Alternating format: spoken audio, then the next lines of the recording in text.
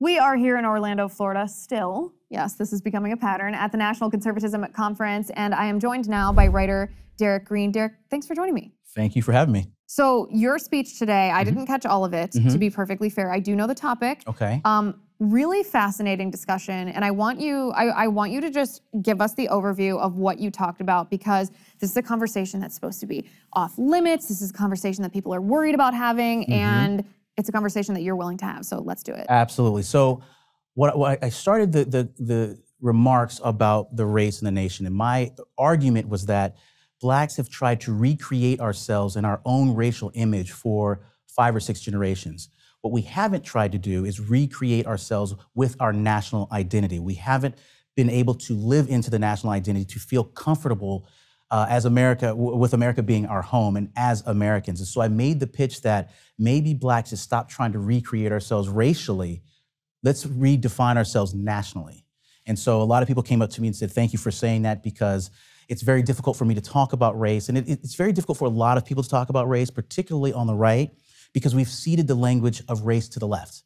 Uh, and the PR from the left towards conservatives and Republicans has always been they're racist.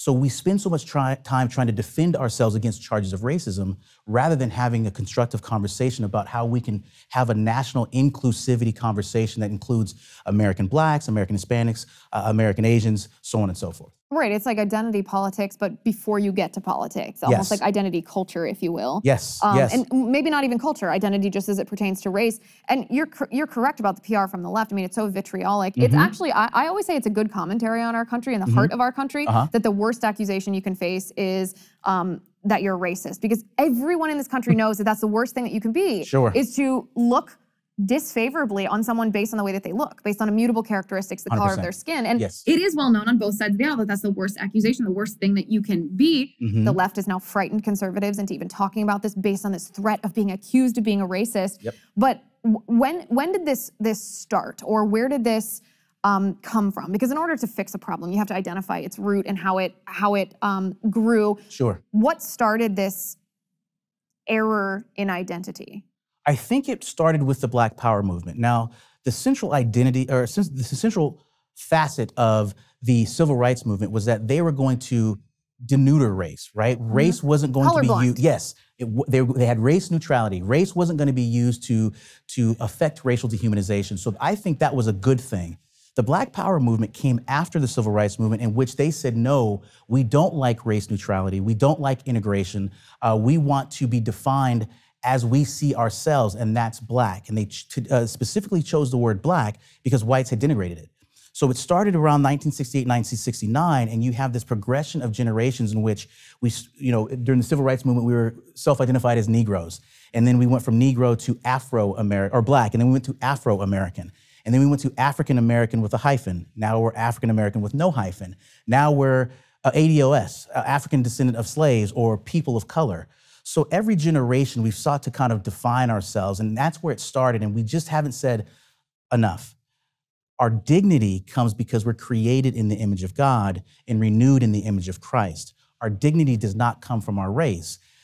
To be seen as equals, we should start to identify as Americans. And the reason I say that is because there's a, particularly from the left, they don't think that blacks can achieve the same as our counterparts. So they lower the standards and expectations when it comes to blacks. When you start paying attention to that, what they've actually done is removed all standards and expectations from blacks.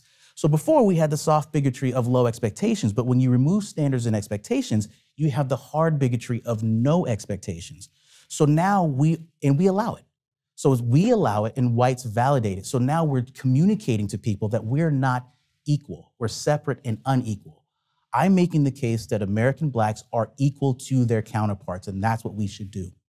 And th- this, uh, this actually, I think you're exactly correct, by the way. Mhm. But this, this reminds me of the video that went viral when Chris Rufo was on Marc Lamont Hill's show, and Marc Mhm. Lamont Hill was trying to trap him into essentially saying that the white race was superior to the black race by saying, "Well, what do you like about being white?" as a Mhm. way of not just, not just, you know, expressing pride in who God made you to be, but in Mhm. in saying that that pride in who God made you to be made you superior to someone else. And I responded, I mean, Chris handled this just fine, perfectly fine. Mm-hmm. right. But I responded and said, listen, we should all be proud of what race we are because we are made in God's image. Mm-hmm. You know, I, I should be proud of being white because that's how God made me to be. And you should be proud of being black because that's how God made you to, to be. And not Right. one is superior, not one is inferior. Right. And how, how do we take back this messaging? how do we, you know, look at this up and coming generation of, Mm-hmm. particularly in this case, young Black Americans, and you know, prevent the indoctrination by the radical left who would use racialism to divide our country Mm-hmm. and teach them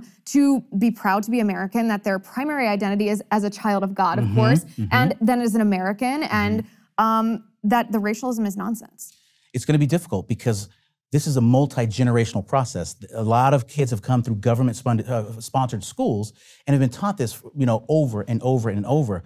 What you do when you teach children at a very young age that no matter what they do, white supremacy or white oppression or white privilege is going to get them, it robs them of hope and optimism.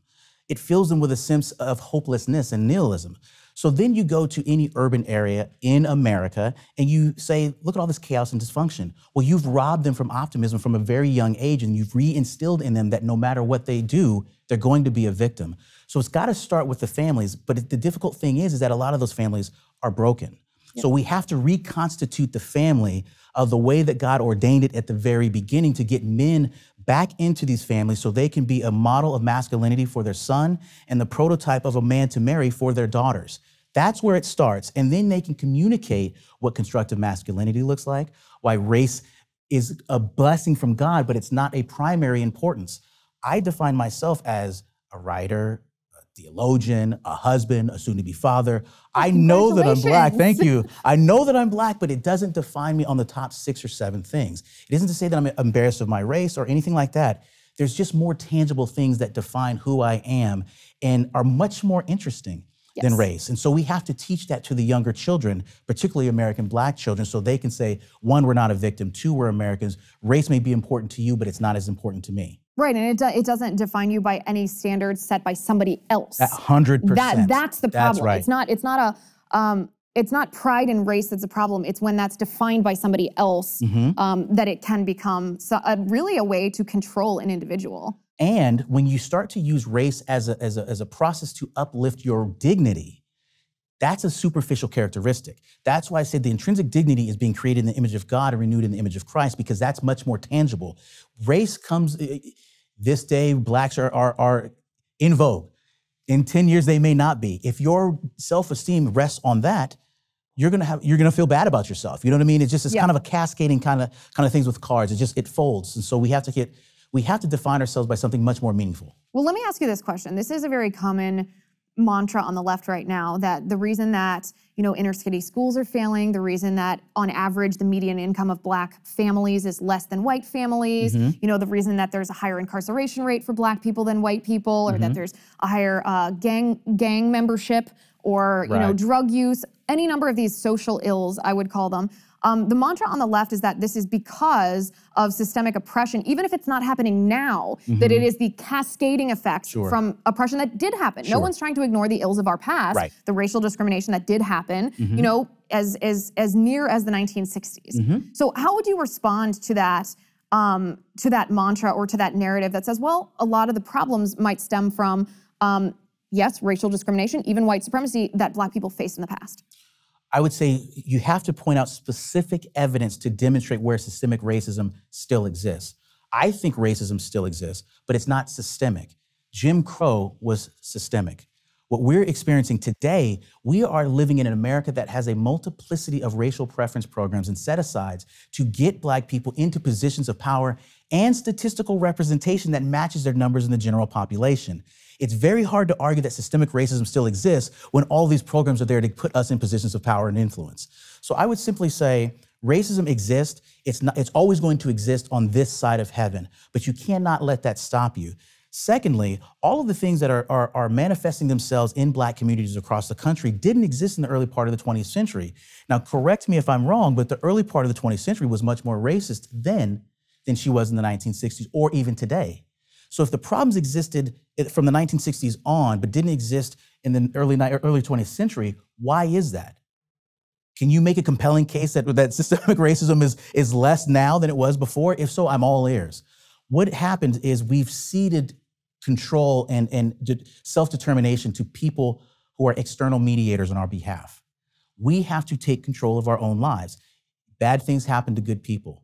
It, is, it, is, it has been that way since the beginning of time, but you don't let those bad things define you. What defines you is how you respond to those problems and then overcome them. That's what we've forgotten in our communities. And I fault the black churches and the pastors of these churches by not communicating this type of message to their congregants it, bad things happen, but and I don't want to say get over it and flip it because some truly bad things happen. Yeah. But bad things happen to American blacks in during segregation, but yet we still were able to create a lot of worthy things like jazz. If they can create jazz, you know, in a systemically racist country, we can do anything we want if we put our hearts and minds to it. And wouldn't you love to hear? I know you asked me that question rhetorically, but wouldn't you love to hear some of these Democrats or some of these leftists actually answer that question? Yes. I would yes. I would sincerely, not as a trap, not as a backing them into a corner. I would love to hear what their examples are. I would love to hear the answer to that question. Mm-hmm. They won't have that. They won't have that conversation, nope. which maybe tells you that they don't have an answer to it. They don't have an answer to it. What it is, it's, it's a form of emotional manipulation to get blacks to the polls. So, you know, I'm surprised that they haven't done it in Virginia or in New Jersey, but every time an election comes up, something happens in which they can manipulate blacks because blacks only think about race. Now, see, if we transcended the racial conversation, Democrats wouldn't have anything that would be beneficial to us that would make us go vote for them. We have 65 years of a pattern of failed Democrat and progressive policies in inner cities across the country. Why are American blacks continuing to vote for their own destruction? Be self empowered and simply say, Yes, racism exists, but it's not going to define who I am or my family members. I cannot vote for you because all of your policies have destroyed all of our neighborhoods. I'm not necessarily going to go vote for conservatives or Republicans. They have to make the effort. I'm just simply not voting for you. Yeah. That's it. And this is actually very similar to what I say uh, when young women ask me about sexism mm-hmm. in male dominated industries. I said, well, of course there's sexism. Mm-hmm. Of course there is, because Absolutely. man is fallen. Uh-huh. As a religious person, and I'm not talking about man, literally male and female, I'm talking mm-hmm. about mankind is oh, fallen. Uh, yes. As religious yes. people, we believe mankind is fallen, which means that there is evil, mm-hmm. there is sin. Yes. Sexism and racism and any other ism, ism yep. are are sins and they're always going to be 100%. until until the second coming they're mm-hmm. going to mm-hmm. be but there's a difference between individual sexism or individual racism as you said and institutional sexism and mm-hmm. racism so if you run into someone if i run into someone who's individually treats me poorly because I'm a woman, I face individual sexism. Maybe right. you experience the same thing with race. Mm-hmm. That doesn't have to stop us. It might be a, a detour right. or a roadblock. Right. But it's not something that we are actively denied of opportunity right. to achieve the American dream based on that. And that's something that um, whether it is whether it is women's issues or whether it's race issues, it's it's a difficult thing to say. It's a conversation people aren't willing to have, and it's a message that needs to be out there. Listen, I'm sure your experience with sexism is like my experience with discrimination. It's a reflection of a diminishing part of America that no longer exists. People are imperfect. Genesis 3 teaches us that. So we know that people are going to say and do things toward us that are not going to be in our best interest, but we don't let that stop us. We simply say, he's a fallen, you know, child of God. We have to treat them the way we want to be treated, even though it might burn us a little bit because of the way, but we still have to do that and we just simply overcome it. I just think that we've lost that element uh, in our culture. We've lost that ability to transcend certain things when people offend us. We have to sit there and cry and make a big deal about it. That's not a big deal. That's not a big deal. We have to transcend that. Yeah, and this this is this is so important. We only have a little bit of time left. Mm-hmm. I could mm-hmm. probably sit here and talk to you about this all evening. You but, but I respect your time. I do want to ask you. So on Twitter, you responded to Juan Williams, who said that he made a comment that's essentially this is a paraphrase, of course, that mm-hmm. um, the idea of parental rights, as I think it as it pertains to education, mm-hmm. um, is just code for white supremacy mm-hmm. or a white race superiority. How do you respond to that? I try to respond respectfully. Yes. Uh, I, I think that Juan is saying that for the specific case in Virginia. However, there are multiple parents, black parents, in multiple urban areas across the country who have advocated for 20 years the ability to send their children to schools of their choice, to have teachers of their choice teach their children because government has been underserving us for multiple generations.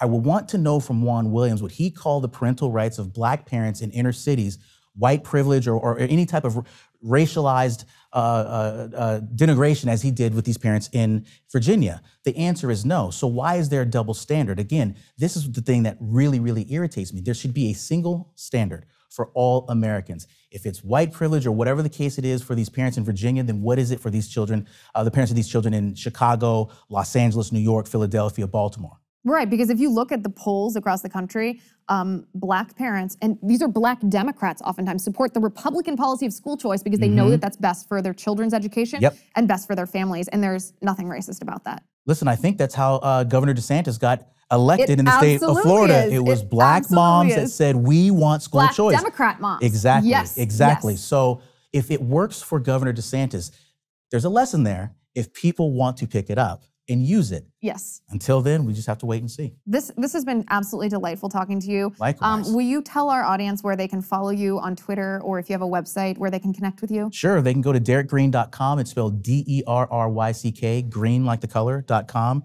Same way on Twitter, same thing on Facebook. Well, great. We will um, we will link to that. Derryck, thank you so much. Thank you. And for all of those of you watching, if you want to see these uh, interviews, interviews like these, if you want exclusive early access, please join us on Locals at lizwheelershow.com slash locals for exclusive early access.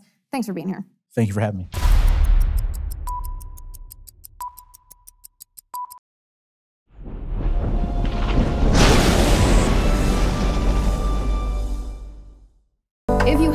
Already, give this video a thumbs up, hit the subscribe button below, and ring the bell to make sure you never miss a video.